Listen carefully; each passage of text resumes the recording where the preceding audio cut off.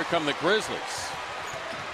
Flying down the floor and slamming for two, O.J. Mayo finally getting on the scoreboard, and he stared daggers at a fellow rookie there, Marreese Speights, after the slam. I think he caught Speights by surprise. Everyone in the building surprised.